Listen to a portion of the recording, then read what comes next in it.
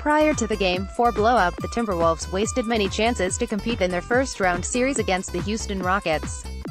As expected, the Wolves showed that they were, at least on some level, affected by pressure, surely due to the postseason return after a long time, that affected their decision-making. Karl-Anthony Towns struggled to get position in the post and the ball was seemingly never in his hands at the right time.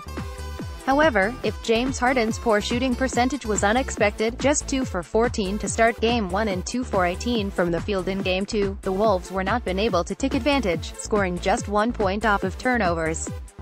The Rockets, in the same situation, tallied 18 points. For example, in the last two minutes of Game 1, Andrew Wiggins and Jeff Teague attacked hurriedly in transition, pushing with a too persistent dribble. Another factor to consider is the cold streak Houston shot in the first two games. The Rockets shot 27% behind the arc in Game 1 and 30.8 in Game 2. The Timberwolves did a great job in first two playoff games keeping the Rockets 7 percentage points under their average per game number.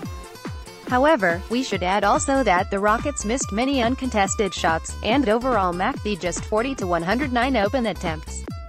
This was something that Minnesota took advantage when coach Thibodeau deployed an alternative lineup, far from the traditional starting five.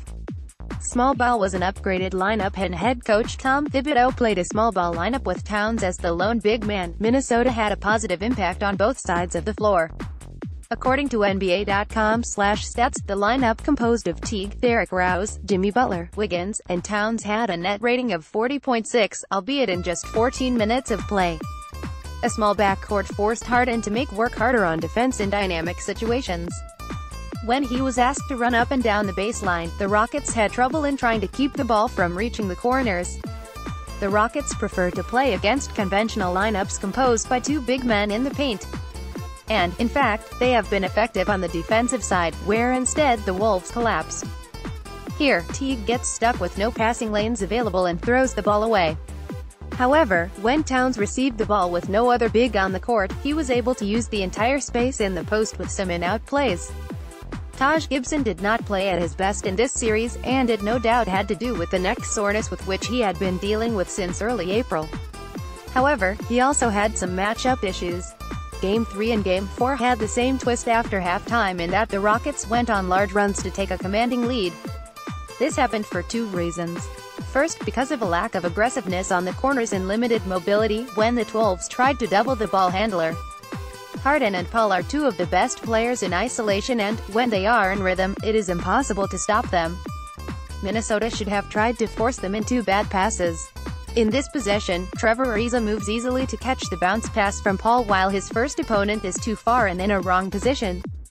Minnesota collapsed twice during the third quarter, put simply, because the defense imploded. Here, there are three Wolves defenders on Harden while Gibson is in late on the right corner. Unfortunately, when Taj was on the court, the defense was not nearly as good as expected. In fact, when he was on the court, Minnesota's defensive rating was 109.7. This data is little better than many of his teammates, but remains well under his standard. His mark was 107.1 during the regular season. Because of this, Houston protected Harden, leaving him free to double on Gibson and limiting his defensive duties on the guards, Derrick Rose and Jamal Crawford. It's not a big news that mid-range is not the most proficient zone where to hit shots in modern basketball era. But it wouldn't necessarily have been a big deal, other than playing the three-point flame-throwing Rockets, of course, in the playoffs if the Wolves hit them as they did in regular season. The issue became obvious when they started to force not just 17-footers, but 17-footers with a really high degree of difficulty.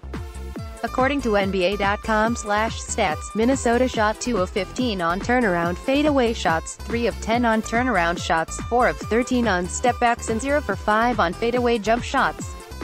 Given that information, it's quite incredible that they won one game and survived for much of the rest of the series with those 43 shots attempts with such a low quality of shot selection in general.